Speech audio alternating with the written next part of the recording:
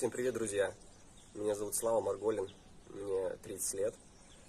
Я смертельно болен и сейчас борюсь за свою жизнь. И я прошу вас о помощи сделать репост этого видео, сделать максимальное распространение. Я думаю, будет не тяжело сделать пару кликов и добавить себе в сторис, отметить несколько блогеров.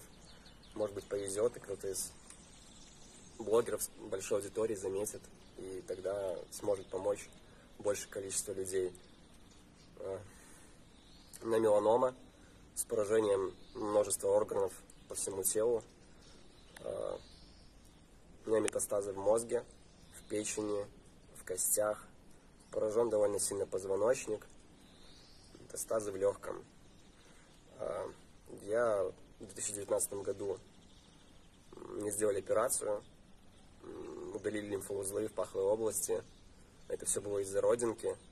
Она начала сильно расти и, скажем так, переродилась злокачественно, поразила лимфоузлы. Я не, вник, не буду вникать в какие-то медицинские моменты, потому что я не врач, не доктор, чтобы объяснить что-то. Лучше в это не вникать. А, а, я прошел операцию, мне сделали лучевую терапию, 30 сеансов, и Потом были таргетные препараты, таблетки, которые мне не очень сильно помогли. Потом была иммунная терапия, на которую мы тоже собирали деньги на один из препаратов. Один мне давали в Беларуси в больнице, другой мы собирали, пока его не было в стране. Потом приходилось его добиваться тоже. А,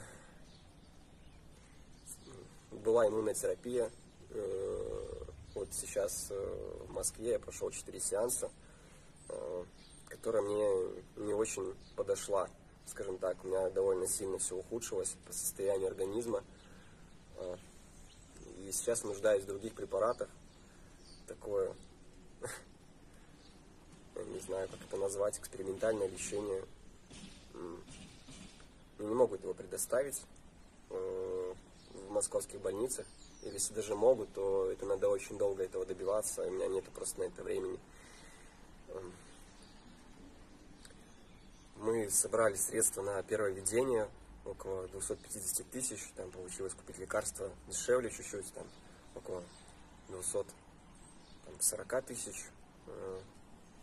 Я сейчас вас прошу сделать репост и помочь в сборах на второе введение, которое нужно уже сделать, будет 10 июля.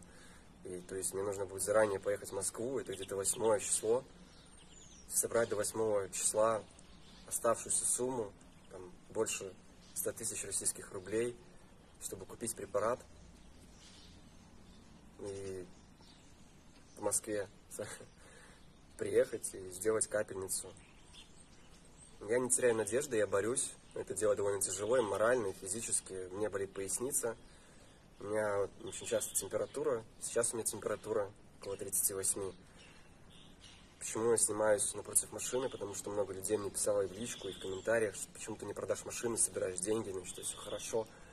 А, я как-то делал пост в сторис об этом. Я скажу еще раз это видео, что машина это мои ноги, и тот, кто понимает, как тяжело просто передвигаться даже в таком состоянии, тот э, не будет задавать таких вопросов я могу за сутки поменять несколько столиц разных стран, ну, Минск, э, Москва.